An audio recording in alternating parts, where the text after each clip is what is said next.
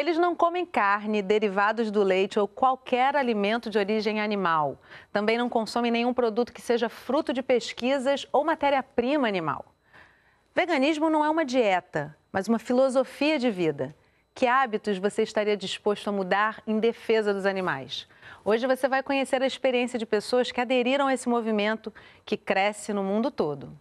Para conversar com a gente, nós convidamos a advogada Kelly Soares e o autor vegano Eduardo Coraça. Muito obrigada, gente, pela presença de vocês aqui com a gente no estúdio. Primeiro, eu quero saber como é que começa a história de vocês. Começa com você, Eduardo. Como é que começou a sua história com o veganismo e por quê? Primeiramente, obrigado pelo convite. É, minha história pelo veganismo, infelizmente, não começou pela ética animal. Eu não tinha noção da, da, dessa compreensão na época. Eu estava mais preocupado com a minha saúde meu desempenho dentro do meu ex-trabalho, que era literalmente, eu era um cyberatleta, um jogador profissional de um jogo de computador, viajando o mundo inteiro competindo, e eu percebi que os melhores sempre tinham parâmetros fixos. Geralmente eram mais saudáveis, assim, em termos de é, peso, comiam de forma mais saudável, praticavam mais esportes. Eu vi que na minha melhor época do jogo eu também era assim. Só que a gente começou a viajar o mundo inteiro, comecei a engordar, fumar, beber, viver de junk food. Aí comecei a fazer a correlação e comecei a fazer as, as transições, né? Parei de fumar, parei de beber, comecei a melhorar minha dieta. O meu jogo começou na hora a melhorar e minha performance física e mental também eu notei que melhorou consideravelmente. Mas aí eu ainda não estava satisfeito com isso e continuei pesquisando, porque eu tava, continuava com problemas de saúde, sabe? Aí eu fui numa nutricionista minha, ela falou, pega leve com churrasco, que é cancerígeno. Ela não explicou que eram aminas heterocíclicas hidrocarbonetos policíclicos Ops. sendo formados durante o processo pirólise. Entendi. Mas eu falei, pô, como que eu vou pegar leve com algo que é cancerígeno, entende? Aí eu caiu meio a ficha, eu via vários... É, eu, não, eu vi que eu não estava obtendo resultados. Aí eu continuei pesquisando na internet, na hora fui exposto ao conceito de veganismo e eu Aí depois eu vou querer saber, foi radical, então, de repente você cortou todos é, os derivados. Falar a verdade, eu sou crudívoro vegano, para ser mais específico, né? Eu só como comida crua e vegetal há nove anos. Opa. Aí logo depois de ser exposto ao conceito de veganismo, também achei de crudivorismo e falei, é, faz tanto sentido, sabe, que seres humanos não foram feitos para comer produtos de origem animal, se fôssemos feitos, nós nasceríamos com características anatômicas, fisiológicas e bioquímicas de um carnívoro. Por isso que nós não somos classificados como carnívoros. Ah, só, só fazer um adendo. Nós acabamos, do, alguns adotam por questões animais, outros ambientais, outros por questões de saúde, mas no final das contas, quando você se educa sobre todos os fatores, é quando você mais facilmente se mantém no veganismo. É. Porque você vê que você faz benefícios a você, você leva benefícios à sua família, que acaba influenciando eles, você leva benefícios aos animais, que você para de consumi-los, explorá-los de inúmeras maneiras, e a, gente leva inúmeros benefícios ao também ao meio ambiente. Sim. Então, são inúmeros benefícios que a gente às vezes até nem sabe, mas também entram benefícios sociais, econômicos, é, questões sociais como, por exemplo, 90, em torno de 80, 90% dos grãos produzidos no mundo vão para a alimentação animal. É. Só que, se a gente, um nutricionista de Harvard ele fez um cálculo é, mostrando que com a redução apenas de um, dia de consumo de carne, se o planeta parasse de consumir carne pelo menos um dia na semana, a gente conseguiria alimentar todas as pessoas desnutridas ou passando ou morrendo de fome no planeta. É, esse pensamento realmente é, é, quase que enlouquecedor e deveria ser mesmo, né? A gente devia ter essa consciência. Agora, você acabou procurando a faculdade de nutrição, você já está quase se formando. Por conta disso, teve a ver com isso? O que, que você aprendeu na faculdade? Sobre ser vegano? Bom, eu comecei a me sentir muito melhor e reverti todos os problemas de saúde que eu sentia. Minha saúde, minha, minha performance física e mental uh, foi imensuravelmente aumentada e eu tinha uma incapacidade de ficar doente. Eu vi meus sintomas de diabetes indo embora. As duas cirurgias que eu precisava e meus médicos na época falavam que eram extremamente essenciais, eu nunca mais fiz, entende? Nesses nove anos eu nunca mais tive nenhuma dor de garganta.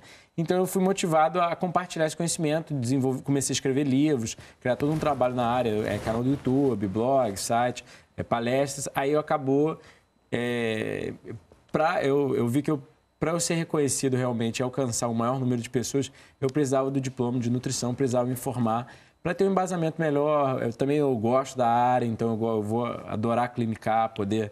Imagino também que em alguns momentos a sua ideia sobre nutrição deve confrontar muito essa ideia tradicional da nutrição, né? Porque existe um pensamento arraigado que sem carne não vivemos, né? Confronta, Sim. mas se a gente for olhar os dois cardiologistas, Bill Clinton, um dos principais cientistas e nutricionais bioquímicos, talvez o mais antigo, com mais publicações, etc., que conduziu o maior estudo epidemiológico nutricional já feito até hoje todos eles são veganos. Entende? Então, as principais, as oito civilizações mais longevas do mundo são quase veganas, ou seja, 1% total calórico de proteína animal. Ou seja, às vezes nem, um, às vezes nem um, um pedaço de bife no final de semana, entende? No máximo, uma fatiazinha, é um condimento. E não, não tem leite, obviamente, não tem ovos e por aí vai, entende? Né? E nesse, nessa correria do dia a dia, como nutricionista já quase formado aí, já com certeza lidando com, essa, com esse trabalho. O que, que você orienta, Eduardo? Como é que se facilita esse dia a dia? Porque nas ruas é meio complicado, né? Ah, bom, é, é muito mais simples do que parece, só que a gente está não acostumado a certas coisas. Você pode carregar frutas, frutas secas, nozes. Qualquer lugar tem um, um suco, uma água de coco, um hortifruti. Você pode carregar inúmeras coisas e, no final das contas, hoje em dia, a quantidade de restaurantes vegetarianos e veganos no Rio de Janeiro é imensa. Aumentou é muito grande. Cresce, né? Porque cresce e a procura, né? Em qualquer restaurante, você, geralmente na hora do almoço, por exemplo, nessa hora mais de correria, é um, são restaurantes self-service, né? É, e no final das contas, você vai parar para pensar, você tem sempre várias cubas com alimentos estritamente veganos. A cuba do arroz integral, a cuba do feijão. É claro que pode ter sido, o feijão pode ser feito com carne, mas só que sem sempre saladas, sabe? Então, até mesmo um crudívoro, no meu caso, eu consigo sentar num restaurante, tem sempre um suco, tem uma salada de frutas, tem uma salada. Tem que querer também, né? É, é simplesmente é uma decisão, um pouco, né? É um pouco de informação, um pouco de decisão, sabe? É só rever os conceitos, óbvio é como todo aprendizado. Leva tempo? Leva. Você não sai andando de bicicleta a primeira vez que você pegou a bicicleta. Você cai uma vez ou outra. Você comete um errinho. Você não entende, às vezes, como fazer e você fica assustado, entende? Mas é normal, é, é, é realmente e a preocupação da mãe dela também, né? Ela fala Sim. que tinha medo dela perder cabelo. Dela... Essa preocupação existe, existe, gente? Existe sim. Eu acho Essa que a possibilidade existe? Não, a possibilidade ah, tá. jamais. a, a preocupação de, de onívoro, geralmente, é. em relação a nós, existe. Por exemplo, Kelly é, trabalha o corpo bastante, né? Isso, malha bastante. bastante. Geralmente se diz que tem que comer muita proteína e tal. Como é que você supre Eu, essa necessidade? Justamente. Nos vegetais? Adquirindo, né? Consumindo as fontes de proteínas vegetais, né? muito, muito grão de bico, muita ervilha, muita lentilha, muito feijão, muito brócolis, couve e assim por diante. Outra coisa que ela fala ali, quando vai num casamento, por exemplo, ela come antes e tal, esses eventos sociais, já passaram por alguma saia justa? Já. Várias vezes, né? Mas.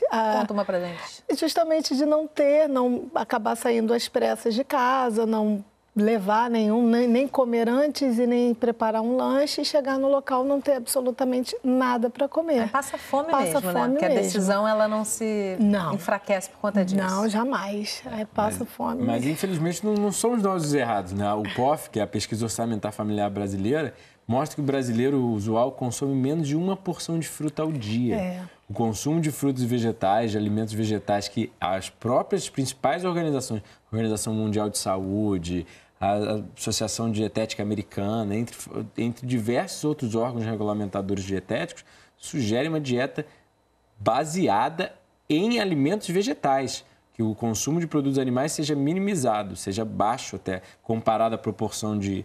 E, e entretanto, não é o que a gente vê nas festas, é né? Verdade, Geralmente é, é sempre muita comida industrializada, muito açúcar, muito é, óleo e Muitos produtos pra, animais. Muito antes até do, de se chegar à possibilidade dessa consciência vegana e tal, é massa refinada, enfim, a nossa alimentação em geral, na verdade, vai na direção contrária do que é o ideal, né? É. Agora, outra coisa que eu achei interessante que ela comenta é o argumento muito comum de que a cadeia alimentar, nós somos carnívoros por natureza. Vocês devem ouvir muito isso também, né? Muito. Qual é, como é que é? Bom, a questão é, a gente tem que olhar para a biologia, né? A biologia mostra, as ciências biométricas, anatomia, fisiologia, bioquímica. Se a gente for olhar para os animais carnívoros, eles são completamente diferentes. Eles são adaptados para caçar o animal, matar o animal, consumir o animal e processar ele e ser bem nutrido.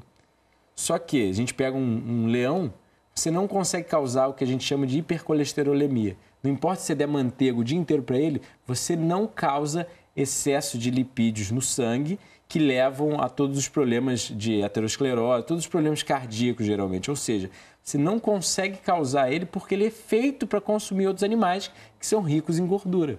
Entende? Ele come ossos. Ele consegue digerir ossos. O ácido hidroclorídrico, que é o ácido para digerir proteínas, é muito maior. Ou seja, ele tem ferramentas anatômicas, bioquímicas e fisiológicas fornecidas pela natureza, no seu código genético que ele desenvolve, já meio que nasce com, para consumir outros animais. Entende? Então ele consegue facilmente caçar, a gente não. A gente tem que desenvolver ferramentas, a gente tem que jogar o animal no fogo, jogar um salzinho. Ele tem, um, ele tem um, um, uma parte do código genético dele que é, sintetiza uma proteína é, na língua que permite-o a sentir os gostos que ele sente. Então, por isso que um gato, se você der fruta para ele, você não vê ele... Ele realmente precisa da... Ele, ele não liga para fruta. Por quê? Porque ele não consegue sentir o gosto doce. Entende? Ele não tem o nosso código genético com essa, com uma outra proteína é, TARS1, eu não me lembro exatamente os nomes delas, que são complexos, que levam a nossa capacidade nos primatas antropóides, da nossa espécie, biologicamente falando, de sentir o gosto doce. Uhum. Então, por isso a gente sente o gosto de uma fruta, mas se der para o seu gatinho, ele não vai ligar. Mas se você botar carne para ele, ele vai adorar. fica essa reflexão. Eu vou pedir, lógico, para o Eduardo dar uma receitinha prática para a gente, para quem quer começar a pensar. Eu fiquei tentada, estou aqui pensando sobre tudo isso. Ai, uma pessoa que quer começar a ir para esse caminho do veganismo, uma receitinha bem facinha. Bem fácil, você pode substituir aquela vitamina usual com leite com água de coco, bananas e canela e às vezes um pouco de gelo ou uma banana mais congelada ou uma banana congelada no liquidificador bate. Cinco bananas, água de, água de um coco ou até mesmo água normal, mas vai deixar um pouco menos doce e um pouco menos nutritiva e canela ou até mesmo cacau em pó. Fica muito delicioso. Mais. Não é difícil, não é difícil. Dá para fazer, né? Hum. Gente, muito obrigada. obrigada. Ótima dica, Eduardo. Obrigada, obrigada, também pela sua participação aqui com a gente, Kelly. Foi um prazer receber vocês. Igualmente. E você, o que faz para uma causa nobre? Compartilha com a gente. É só entrar em contato pela nossa página, ligar gratuitamente ou enviar um e-mail. E obrigada por acompanhar a gente aqui pelo canal Saúde, pela internet ou por um dos nossos canais parceiros. Não vai faltar a nossa próxima conversa em família. Tchau!